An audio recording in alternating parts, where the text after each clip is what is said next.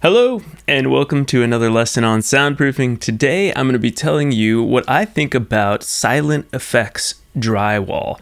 Uh, this is made by CertainTeed, and this is a drywall that's on the market that claims to help you with sound isolation, with soundproofing, uh, by having a specialty drywall that will apparently be way better than regular drywall.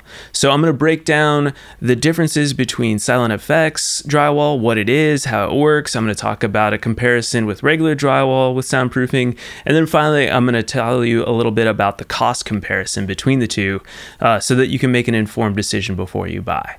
All right, if that sounds good, stick around. Right before I jump in, I'm just going to let you know that I have a free resource for you. This is my free soundproofing workshop. You can check it out. It's 45 minutes of in depth teaching. I just give it all away. My goal on this channel is to just give you all the information you need to build a soundproof home recording studio. So, that said, you can check it out at www.soundproofyourstudio.com slash workshop. That's soundproofyourstudio.com slash workshop. All right, let's jump into this lesson on should you use SilentFX Drywall to soundproof. All right, first question is what in the world is Silent FX drywall? Well, it falls into a category of other drywalls that I've done reviews on before, like uh, Quiet Rock is another example, and they're all pretty much the same thing. They feature a 5 8 inch or half inch inch dense drywall. Uh, with a layer in the middle that is a damping layer. And on the website, you can see here in their brochure that it says that it's a viscoelastic polymer, which is a fancy word for that damping layer. Viscoelastic polymers uh, are similar to green glue and mass loaded vinyl, so don't get freaked out by this like term. Uh, and in fact, you know, most uh, structural items like rubber act as a viscoelastic polymer. So there's nothing really fancy about that. I want to say too that CertainTeed, which makes SilentFX, is owned by Saint Gobain, which also bought up Green Glue. So there's some connection there between all these companies kind of selling the same or similar products under one umbrella of Saint Gobain. So being a, a uh, informed consumer, you can kind of understand how everything's sort of related here. So I'm going to tell you a little bit more about this elusive viscoelastic polymer. I did a little research and I try was looking for a legitimate source and I found one with actually a uh, graduate level paper in math and engineering um, from a university and I have the link in the description below if you want to check out that paper. But basically, these students said that a viscoelastic polymer is, and I will read this to you because I can't memorize it a damping layer, usually made of rubber or rubber like polymer, represents hysteresis under a dynamic load. Some of the mechanical energy is absorbed and dissipated as heat due to the internal friction of the molecular chains. So, in plain English. Uh, hysteresis, uh, I believe, is just the ability of the material to vibrate and move in multiple three dimensional directions. And the basic idea here is that this material, because it gets moving in a certain way by the sound waves, it actually converts the sound wave ultimately into heat uh, from the friction of the molecular chains. And I like the molecular chains part because that to me goes all the way down to the molecules of what's actually happening uh, with our material. So that's important to understand.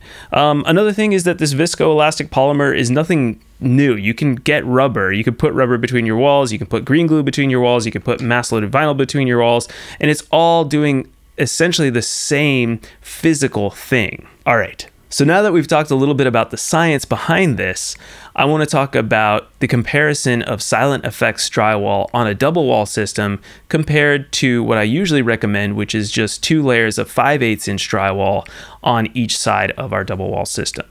So the first thing I'm going to show is something I show a lot on my channel, which is this diagram of a typical double wall system. If you look to the far right, it gets an STC rating of 63. We have two layers of 5 8 inch drywall on the outside wall, an air gap in the middle with insulation, and then you have two layers of 5 8 inch drywall on the inside wall. And it's a very simple and beautiful design and it works really well. An STC rating of 63 is plenty good for most home recording studios. So, that said, let's look at what the SilentFX would do if we were to use it. And I looked in their documents and I found this diagram, which was the closest that I could get to the exact same design as my typical double wall system that I recommend for my clients. And so with this one, they recommend getting an STC rating of 62, which is very close to an STC rating of 63. That's respectable.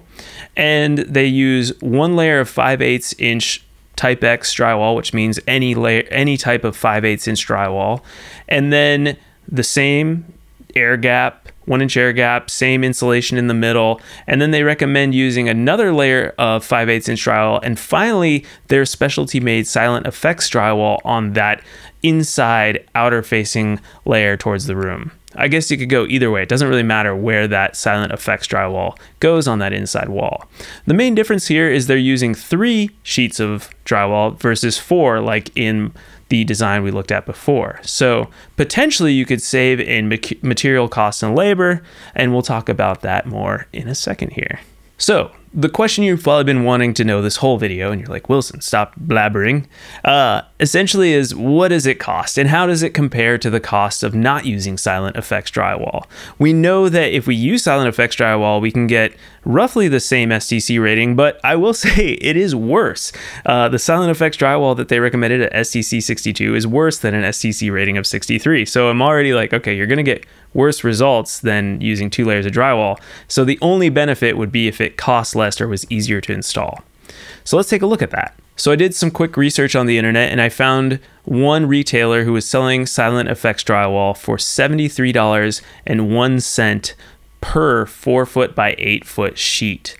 Now that's very expensive for dry- drywall, but it's actually around the same amount for competitors like Quiet Rock and other uh, soundproof specific drywalls out there. Now, when I looked at Home Depot or Lowe's, which are our big stores here in the United States, they were selling regular 5 8 inch drywall for $17.87 per 4 by 8 foot sheet.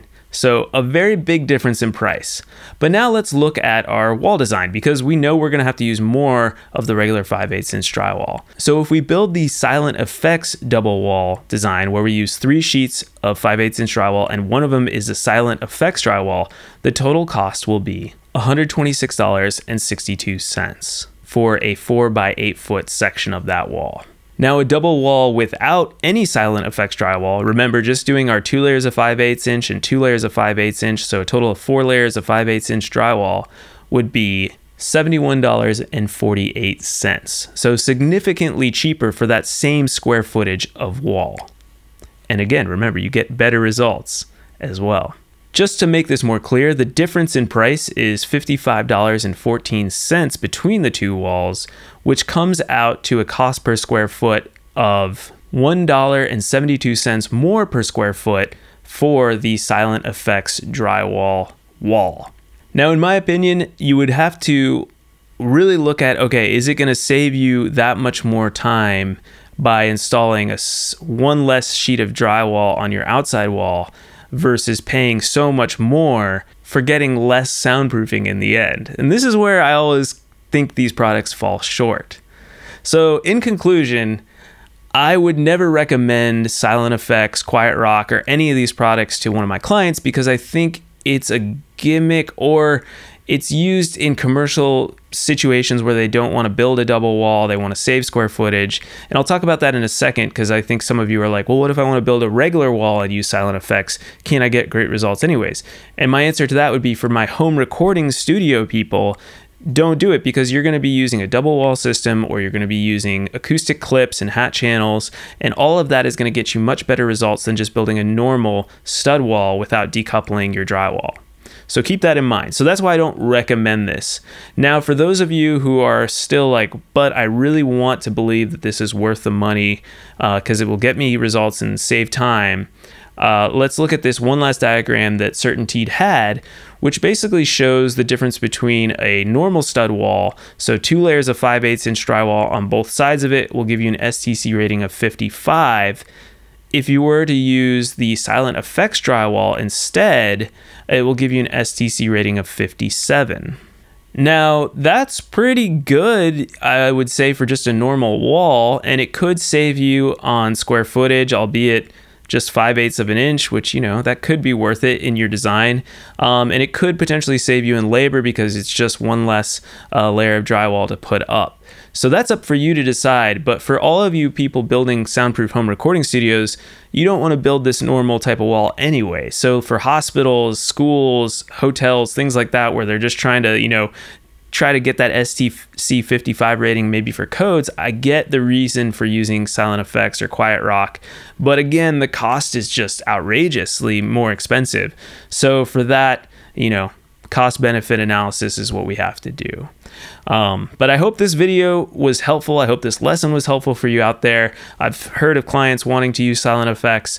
I always try to steer them away from it.